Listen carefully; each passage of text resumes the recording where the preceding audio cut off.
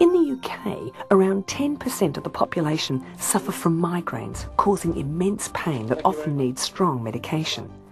Now, new research has detected a link between some forms of migraine and a small hole between the heart's chambers.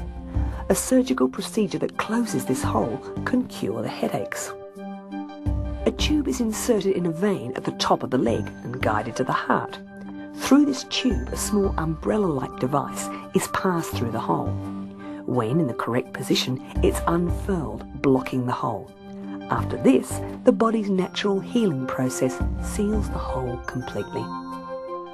Any surgery inside the heart does have some risks, but the history of this procedure shows it to be safe and straightforward. Patients say the migraines don't stop till around eight weeks after the operation when healing is complete.